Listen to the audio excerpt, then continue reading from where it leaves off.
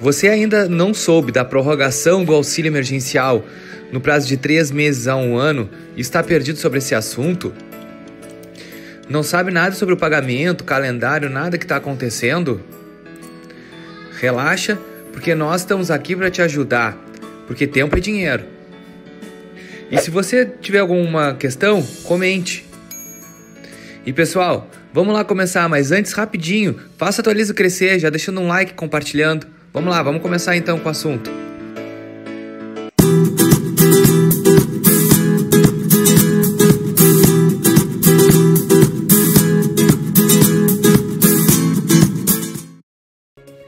Olá pessoal, tudo bem?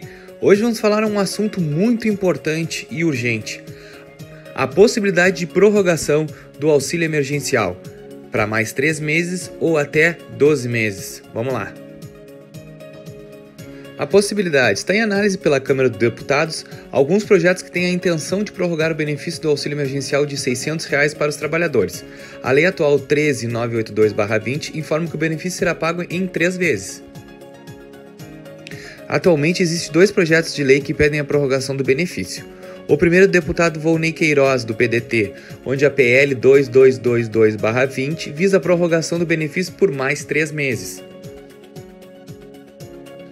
Enquanto existe outra PL em andamento, o projeto de lei 2283-20, que já foi apresentado por 51 deputados da bancada do PT, que pretende aumentar o período de um pagamento de benefício por até um ano, gurizada. Um ano.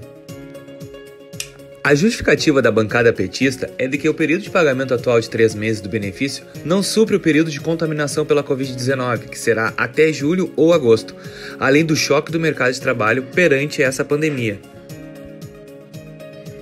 E volto a lembrar para vocês que o projeto de lei 2283/20 ainda prevê que o benefício poderá ser prorrogado novamente após os 12 meses de concessão. E o que nos resta agora é aguardar para ver se o governo pretende aprovar a prorrogação do benefício por mais três meses ou até um ano. Vamos lá, pensamento positivo. É isso aí então, pessoal.